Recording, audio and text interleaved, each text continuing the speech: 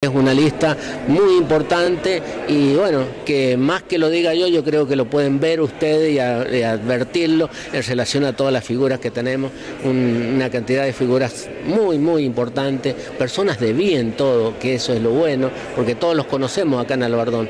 Y bueno, y muchos profesionales que nos hacen falta para crear la carta orgánica de la nueva ciudad de Albardón, de todo lo que se nos viene, un futuro eh, muy importante para nuestro departamento que tenemos que estar más unidos que nunca, que tenemos que seguir trabajando por Albardón.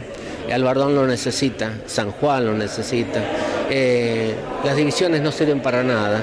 Lo único que sirve es eh, es construir, hay que construir y hay que construir futuro con unión, con esperanza, con cariño, con amor de familia y bueno, es la única manera. Lo otro no sirve, lo otro eh, eh, no, hay que, no hay que practicarlo, hay que practicar siempre el trabajo en conjunto por un futuro mejor. El nuevo equipo de, de consejo es el que hemos presentado y bueno, a todos les deseo lo mejor y que sigan trabajando, Albardón lo necesita. Así que los invitamos a todos, a todos los vecinos, a toda la familia, para que apoyen y ayuden a esta lista de concejales y a quien les habla para este nuevo albardón que se viene.